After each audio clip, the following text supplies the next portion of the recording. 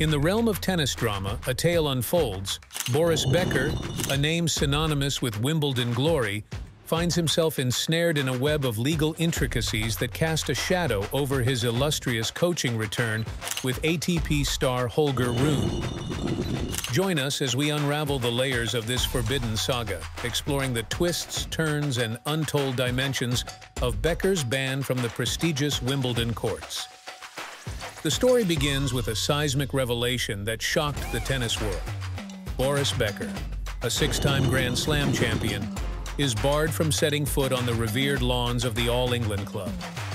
A man who once triumphed on these very courts now faces a prohibition, leaving fans and pundits alike in suspense about the reasons behind this unprecedented ban. The source of Becker's woes lies in a legal labyrinth that extends beyond the tennis court.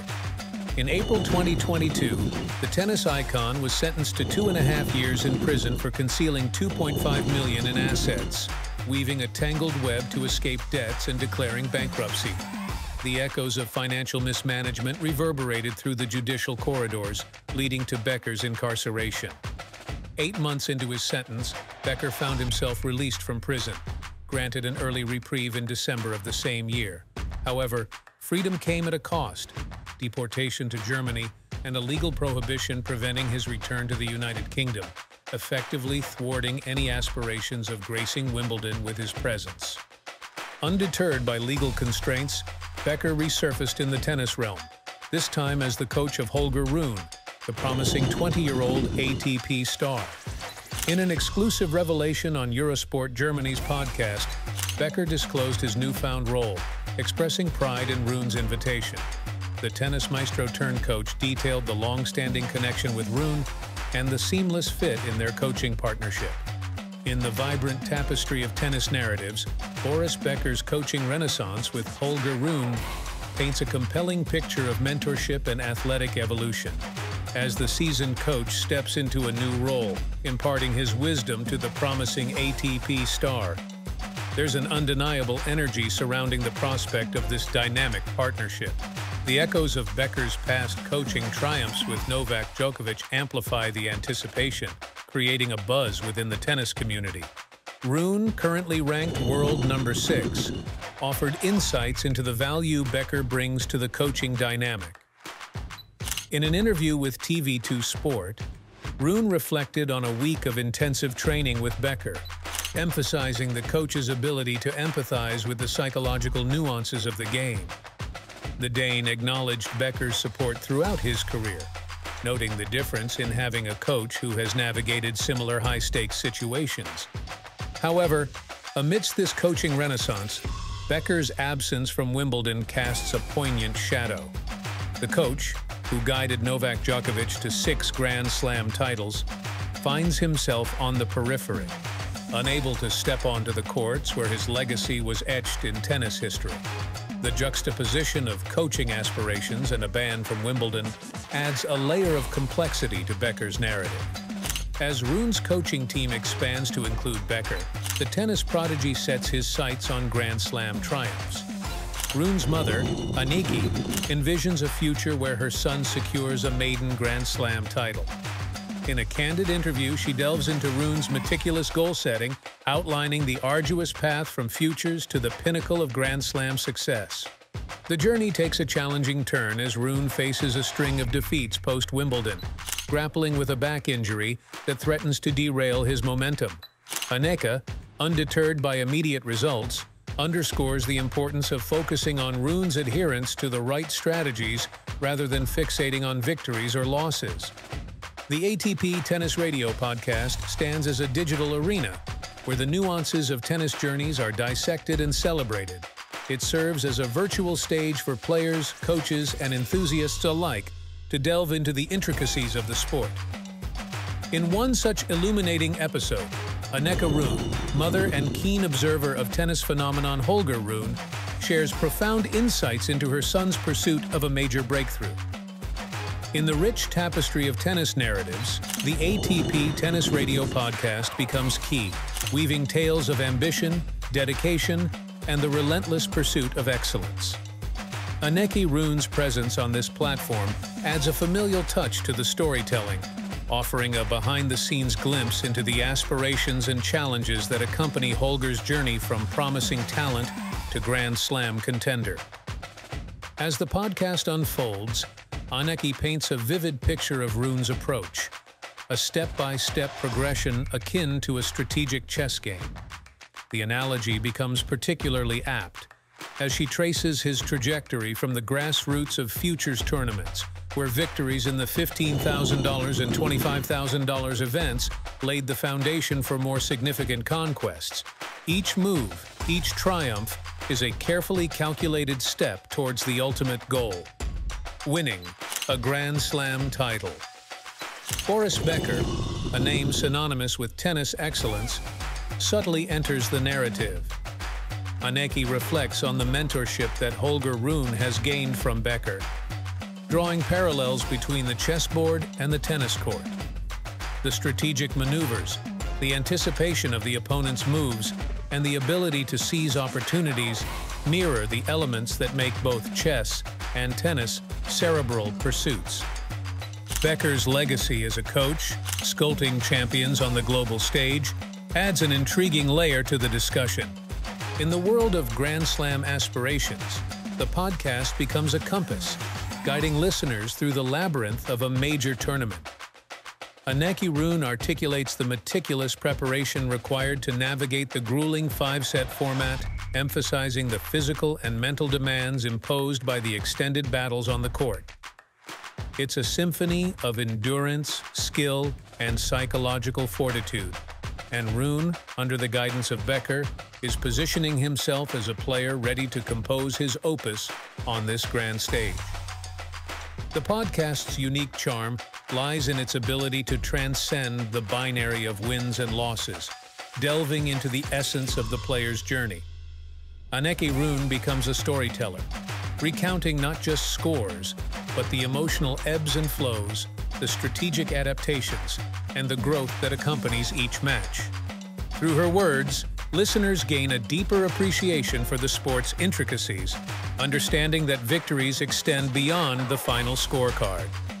As Holger Rune readies himself for the challenges of Grand Slam tennis, the podcast becomes a compass, navigating through the uncertainties and certainties of his journey. The influence of Boris Becker, the strategic mind behind champions, hovers in the background, an unspoken presence that infuses the narrative with an air of anticipation. The podcast, in essence, becomes a collaborative venture, with Aneke Rune and Becker contributing their unique perspectives to the collective symphony of tennis storytelling. In conclusion, the ATP Tennis Radio podcast, with Aneke Rune as its storyteller, illuminates the path of Holger Rune's pursuit of a major breakthrough. As the narrative unfolds, Boris Becker's influence subtly intertwines with the overarching chess game of tennis, adding a layer of strategic brilliance to the storytelling. Through the podcast's lens, tennis enthusiasts embark on a journey beyond statistics, witnessing the evolution of a player and the intricate dance between mentorship, strategy, and the relentless pursuit of Grand Slam glory. The forbidden return of Boris Becker to Wimbledon raises myriad questions within the tennis community. Will legal constraints be overcome, allowing the tennis icon back onto the courts that witnessed his glory? Can Holger Rune, under Becker's tutelage, achieve the Grand Slam dreams they collectively harbor? As this captivating saga continues to unfold, tennis enthusiasts find themselves immersed in a narrative that transcends the boundaries of sport. The forbidden return becomes a metaphor for the intricate dance between personal challenges, coaching dynamics, and the unyielding pursuit of excellence on the hallowed grounds of Wimbledon. The tennis world watches with bated breath, eager for the next chapter in this compelling and forbidden tale. Becker's coaching legacy is undeniably storied, marked by the transformative years spent shaping Djokovic into a Grand Slam champion.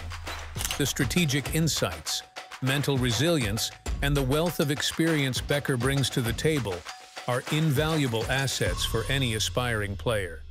The resonance of his coaching philosophy, honed through years at the pinnacle of the sport, adds a layer of depth to the training sessions with Rune.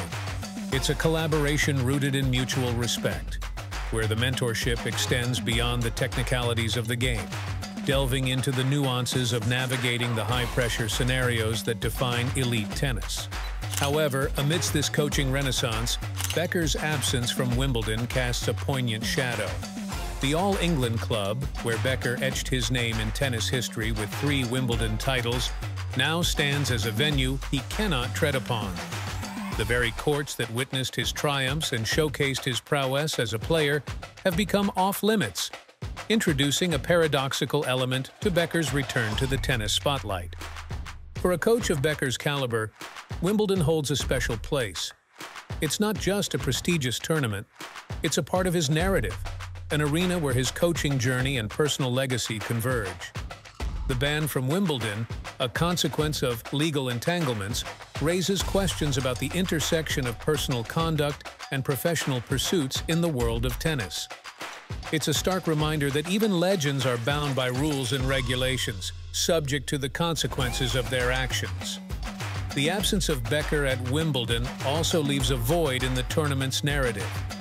His larger-than-life presence, both as a player and coach, has been synonymous with the grandeur of Wimbledon. The charisma, the tactical acumen, and the sheer magnetism he brought to the courts are elements that add a layer of richness to the tournament atmosphere. When Becker is absent, there's a certain nostalgia that permeates the air, a longing for the days when his volleys echoed through the hallowed grounds. In assessing the impact of Becker's ban on Wimbledon, one must consider not only the personal ramifications for the coach, but also the tournament's identity. Wimbledon, steeped in tradition and history, is a stage where narratives intertwine, creating moments that transcend the sport. Becker, with his unparalleled connection to the tournament, becomes a character whose presence is deeply interwoven with the Wimbledon saga. As Rune gears up for his Wimbledon journey under Becker's guidance, the absence of the coach from the physical landscape of the tournament introduces a unique dynamic. The mentor, despite being barred from the venue, remains a guiding force through the challenges and triumphs that Wimbledon's grass courts will inevitably present. It's a testament to the enduring nature of mentorship, where influence transcends physical proximity. In conclusion, Boris Becker's coaching return with Holger Rune is a story of rejuvenation, mentorship, and the timeless allure of tennis. Yet, the ban from Wimbledon adds a layer of complexity, highlighting the intricate interplay between personal history and professional pursuits. As the coaching narrative unfolds, the void left by Becker's absence at Wimbledon becomes a nuanced chapter in the broader tale of tennis, where legends navigate the boundaries of legacy and the constraints of circumstance. Thanks for watching, and don't forget to like this video and subscribe to Forehand Frenzy for more exquisite content like this.